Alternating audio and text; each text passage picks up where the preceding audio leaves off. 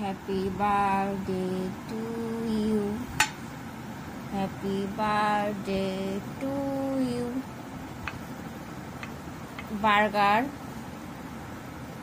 পুরোটা তো খেতে পারব না, তার জন্য অর্ধেক করতেছি। কুচি কুচি করে। কুচি কুচি কুচি কুচি কুচি করে।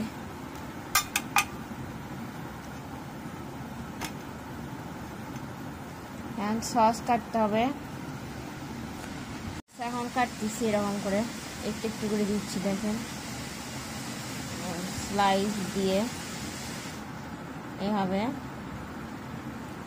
আর এটা অর্ধেক করব এখন, অর্ধেক। কারণ একা মানুষ, পুরোটা খাওয়া যাবে না, অনেক বড়। অর্ধেক করে নিলাম, দুইটা। এক টাইম খেতে পারব না। গরম করে নিয়ে আসছি। এটার উপর এখন দিয়ে নিব একটা, আর এটার উপর আরেকটা। ও মাই গড তাওয়াতে গরম করছি তার জন্য পুড়ে গেছে একটু। আন্ডাটা খাব না আমি। মিষ্টিও খাব না। আমি শুধু এটাই খাব। সসটা পড়ে যাচ্ছে উপর দিয়ে একটু দিব।